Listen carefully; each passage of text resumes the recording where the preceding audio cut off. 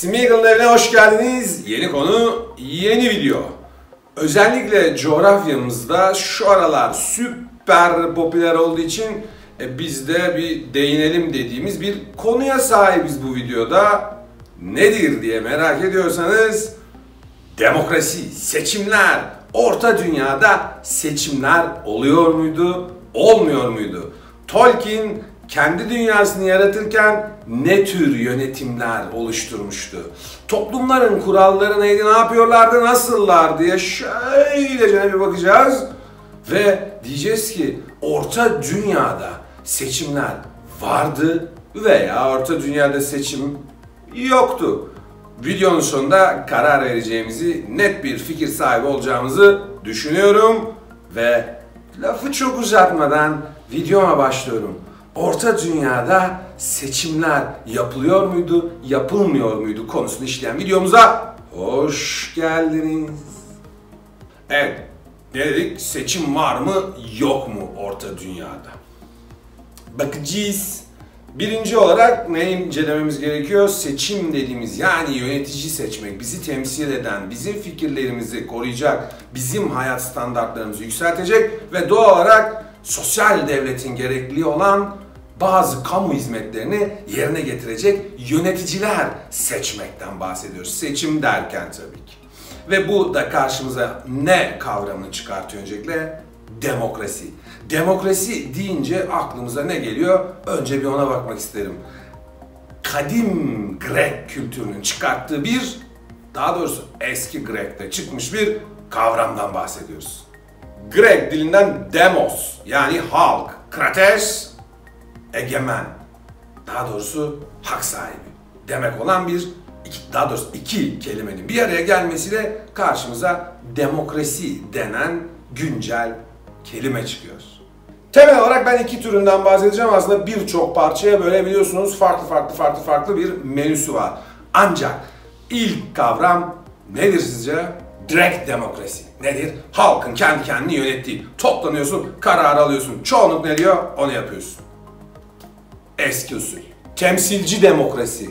Seni yönetecek belli bir kurul, belli bir grup seçiyorsun ve onlar kararları senin adına alıyorlar. Milattan önce 5. yüzyıl o Grek yarımadasında şehir devletleri var. Doğal olarak en karizmatik, en babası Atina ilk kez bu kavramı milattan önce 5. yüzyılda hayata geçirir. Normatif demokrasi teorisi diye bir şey var. Bu direkt demokrasi dediğiniz o nedir? Herkes hemfikir olayın üzerinde. Ampirik demokrasi teorisi dediğimizde ise poligarşi, poliarşi var. Nedir? Çoğunluk önemli. Temel olarak baktığımızda demokrasi kavramını bu şekilde ikiye ayırıp yolumuza devam ediyoruz. Evet, temsilci demokrasi dediğimiz hikayeyi temsilcili yani bir grubun seçildiği demokrasi zaten günümüzde görüyoruz. Bu direkt demokrasi denen yani herkesin hemfikir olmak zorunda oldu. Veya bütün yaşayan halkın toplanıp oy verdiği sistemi şu an İsviçre kantonlarında görebiliyorsunuz. Onun dışında çok yaygın bir şekil değil. Peki buradan yola çıkarak ne diyoruz? Orta dünyada durum ne idi? Şimdi bu noktada biraz yardım aldığımızı itiraf etmek istiyorum. Üniversiteyi söyleyeceğim ama Nardi Jones Jr. kendisi bir e, tez hazırlıyor 2014 yılında ve Orta Dünya'ya Tolkien evreninde demokrasi, seçim veya yönetim şekilleri ne idi diye bakıyor ve bununla ilgili çok ciddi bir tez hazırlayıp hocalarına sunuyor. Sonucu bilmiyorum ama biz videoda kendisinden alıntı yaptık. Orta Dünya'nın genel hiyerarşisine baktığımızda iki örnek aslına bakarsanız temsilci demokrasisine iyi bir örnek olarak çıkabiliyor. İlk örneğimiz Göl şehir. Erebor'un dibindeki o bölgede bir yönetici var. O yöneticiyi de doğal olarak şehrin halkı seçiyor. İkinci örnek mi? İkinci örnek ise Shire yani hobbitlerle karşımıza çıkıyor. Shire kendini yönetecek kişiyi seçim yaparak seçiyor. Şimdi bu noktada şu şekilde ayırıyoruz. Yine bir ikiye ayrılıyor. Bir çatal var o noktada. Geri dönüş üzerinden yönetim veya hiyerarşik yönetim diyoruz. Hiyerarşik yönetim derken emir komutadan bahsediyoruz. Burada en tepede Mordor, arkadan Isengard, hemen dibinde Gondor ve Rohan ve bizim güzel örneklerimiz Gölşehir ve Shire olarak sıralanıyor bu tablo. İlk olarak Mordor'a bakacağız. Tabii ki ilginç bir hiyerarşiye sahip olduğunu söylemek zorundayız. Bürokratik katmanı çok fazla. Değişken az. Sosyal hareketlilik neredeyse hiç yok. Tepede Sauron. Bir altında Sauron'un ağzı Mother Sauron dediğimiz bir bürokrat, bir temsilci var. Bir tık aşağı indik bürokratik ajanlar, yüzük tayfları. Haraç güzel devlet yapısı Harat. Elit askerler, troller. Sıradan askerler, orklar. Sauron'un bir orkla diyalog kurduğunu veya muhatap olduğunu göremezsiniz. Emir komuta bağlamı budur. Bu arada kulağıma çarpar gibi haraç güzar nedir diye sorduğunuzu düşünüyorum. Hemen açıklayayım. Bağımlı yaşayan bir şehir, haraç veren bir şehir veya hani sizin altınızda size muhtaç şekilde devam eden bir kültürden bahsediyoruz. Evet, ne yaptık? Demokrasi sıralamamızda Isengard'dayız. Emir komutanın bir tık altına indik. Neden? Evet, Mordor'da gördüğünüz sistem Isengard'da da geçerli tabii ki. Tepede Saruman var. Onun altında da hizmetkarları, Urugaylar, Orklar, işte çözüm ortakları, dağdan gelen Dundelingler filan falan. Ancak aradaki fark Grima Wormtongue yani solucan dil diye bizim çevirdiğimiz karakterde. Saruman onunla birebir fikir alışverişi yapıyor. Geri dönüş onun için hiç önemli değil. Grima'nın ne dediğini kale almasa dahi aktivite yapacakları şeyleri anlatıyor. Ondan da bir yorum aslında alıyor. Değerlendiriyor, değerlendirmiyor. Çok önemli değil. Bu Isengard'ı hiyerarşik yapıda, demokrasi sıralamasında bir tık daha yukarı çıkartıyor Mordor'a göre. Sırada geldi Orta Dünya'nın yakışıklılıkları. Gondor'la Rohan. Tam ortada duruyorlar. Her iki taraftan da aldıkları birer lokma var bu kültürlerin. En güzel örnek Rohan. Çok fazlasıyla katmanları oluşuyor. Hatta şöyle diyebiliriz aslında kişisel yoruma bakınca Rohan e, bir nevi bir İngiltere yapısında karşınıza çıkartabilir. Kral da var, meclis de var. Rohan'ın yapısını da açalım tabii böyle bırakmıyorum. Kral var, danışmanlar var, generaller var. Diyelim ki orduyu toplayacaksınız. Beyliklere haber uçuruyorsunuz. Geliyorlar ancak savaşın mantığını oturup bir tartışma ortamına koyuyorsunuz ve geri bildirimi net olarak değerlendirmek zorundasınız. E bu durumda doğal olarak Rohan'ı tam araya koyuyor. Otorite var ama geri dönüş de var. Değerlendirme var ama bir emir komuta zinciri de çok net olarak karşımızda. Sırada Gondor. Hadi bir de ona bakalım. Gondor'da katmanlar daha fazla. Orada düşük seviyeli lordlar var. Şehir lordları var.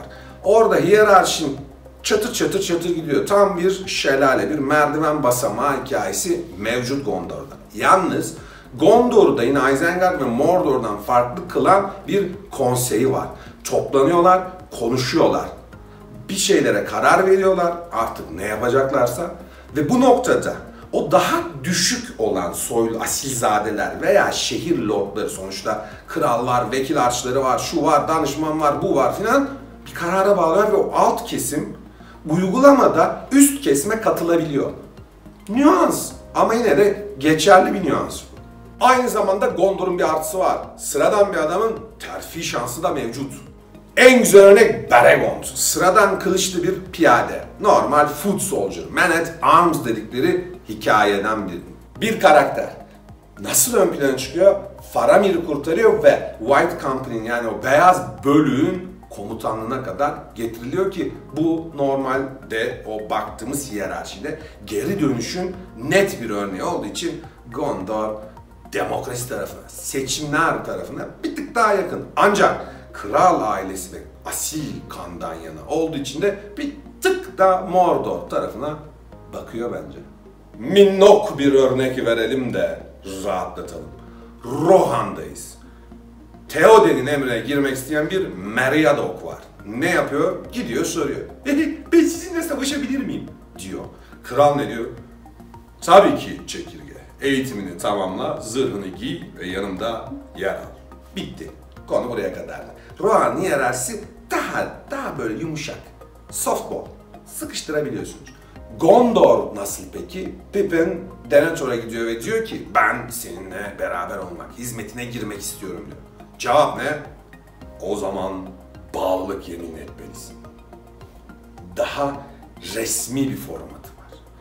Pepin Maşro, Gondor'un çıkarları yönünde çalışacağıma, görevimi kötüye kullanmayacağıma, kurallara uyacağıma, küçükleri sevip büyükleri savacasında sayacağıma, kılıç tutup kalkan kuşanacağıma söz veriyorum. Böyle bir şeyler üfürüyor. Denethor aynı ciddiyetle cevap veriyor. İşte şu şu şu şu sözleri verdin. Şu andan itibaren Gondor'un bir ferdisin ve seni bağlayan kurallar var. Bunlara uymak zorundasın diyerek kendisini bir şekilde Gondor'un hizmetkarı haline getiriyor.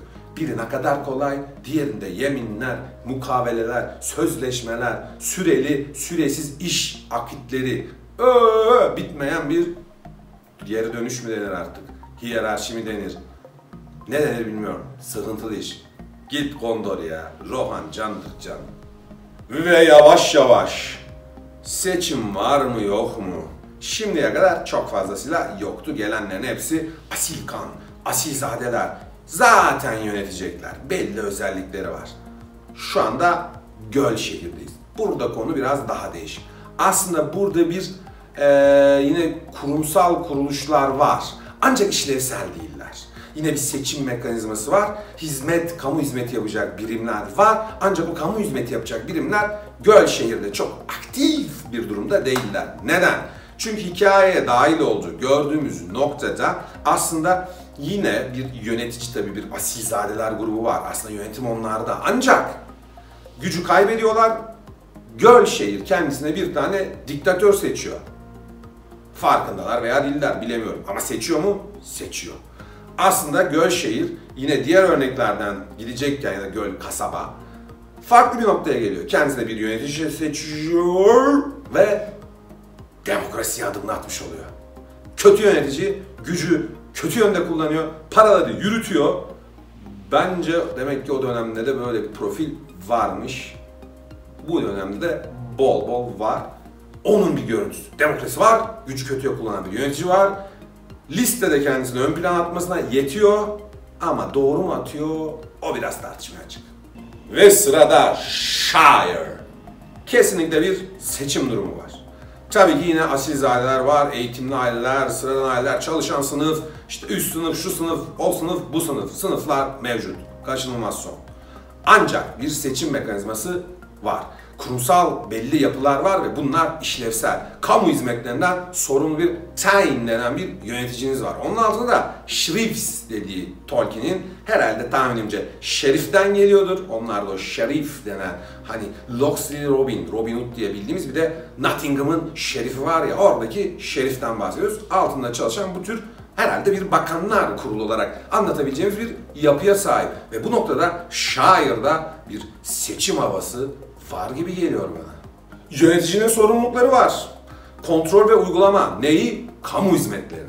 Aynı zamanda çok önemli bir özellik sosyal hareketlilik var toplumda. Samwise Gamgee çalışan kesimin net bir temsilcisi ancak ne duruma geliyor?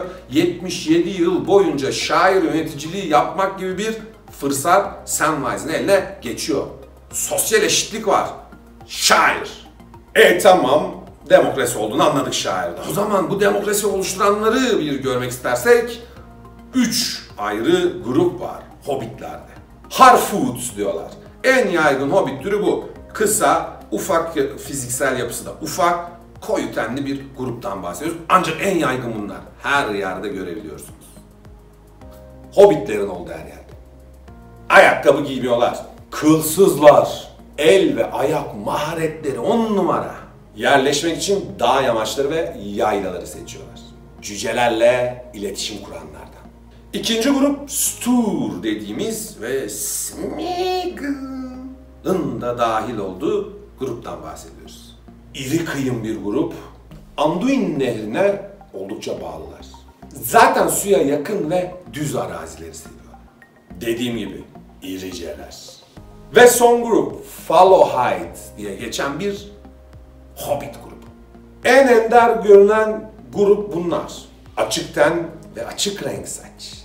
Diğer hobbitlere göre uzun ve ince yapı. Linguistiğe, dil bilimine ve şarkıya yatkınlık var bu grupta. Ve doğal olarak elflerle iletişim halindeler. Rivendell'in kuzeyindeki dağlar en çok gözüktükleri bölge. E madem üçünü gördük bir de bu demokrasiyi oluşturan Hobbit'in özelliklerine bakalım isterim. Kısa ama böyle üstten hafif hafif geçeceğiz. Normal bir insandan çok daha uzun bir ortalamaya sahip. Aslında daha uzun yaşıyorlar diye. Çünkü ortalama yaş 100. Bir Hobbit 33 yaşına geldiğinde ergenliğe ulaştı sayılıyor.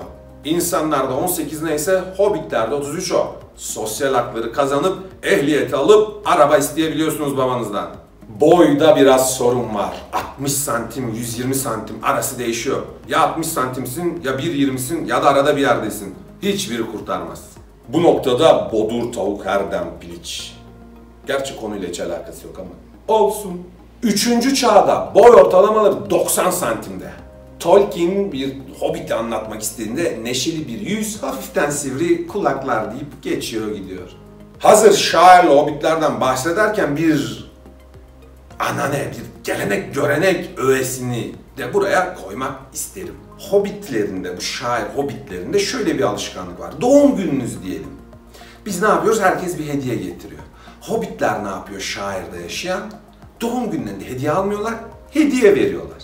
Ve bu kavrama da Mat Home deniyor.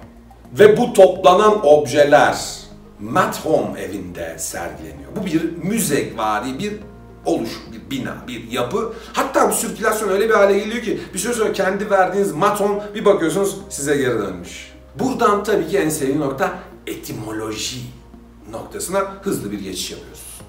Rohirrim dilinde hoblitlah deniyor. Yani delik yapıcı. Hole builder diye de İngilizceye çevirebiliyoruz. Aslında çevirmiyoruz. Ben oradan Türkçe'ye çevirdim. Belirtmekte fayda var. Ortak dilde kuduk diyorlar. Ancak bu kelime gerçek rohirik denen bir dilden devşirilerek bu hale getiriliyor. Gerçek rohirik dediğimiz dilde kuddukan diyorlar. Yani delik sahibi. Buradan varyanta giriyor, çat çat çat çat değişiyor, kuduk oluyor. Kuduk, hobbit demek oluyor. Her ne kadar Tolkien yine hobbit ifadesini İskandinav kültüründen devşirerek alıp hikayesine koysa bile bilinen gerçeklerden biri hobbitler yapı itibariyle, ırk yapısı itibariyle Tolkien evreninin belki de kendi nevi şahsına münasır dediğimiz o ifadenin kendi özelliklerini taşıyan, daha öncesinde herhangi bir yerden alıntı yapılmamış tek ırk olarak kabul ediliyor. Tolkien'in bir buluşu olarak kabul ediyorlar Hobbit kültürünü. Fantastik dünya yorumcuları, forumcuları, yazarları, patronları. Gelelim kapanışa. Orta dünyada demokrasi de var, seçim de var. Az da olsa varlar. Az ama var. Var mı var. Konu bu kadar. Net olarak cevabı verebilirsiniz. Evet deyip devam edilebiliyor. Neden? Örneği var sonuçta. Tamam birçok noktada hiyerarşi var. Diktatörlük dediğiniz bir Sauron kavramı bile var.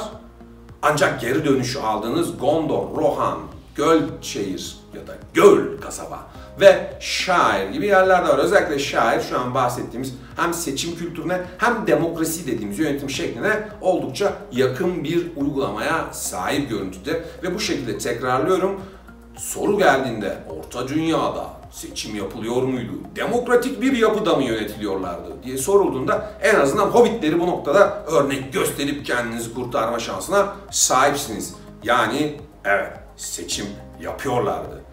Sandıkları nereye koyarlardı veya ne yapıyorlardı çok bilmiyorum. Anlamam. Zarfla mı atılıyordu yoksa el mi kaldırıyordu o da çok belli çünkü çok dağınık bir yerleşimleri var. Kimler toplanıyordu, nerede toplanıyordu, ne oluyordu detay yok. Ancak seçim var diyorum ve bu videonun da kapanışına geçiyorum. Buraya kadar seven herkese teşekkür ediyoruz. Kucak dolusu öpücükler ve sevgiler. Simigo'nun evinde bir videonun daha sonuna geldik. Bir sonraki videoda görüşmek üzere. Kendinize iyi bakın.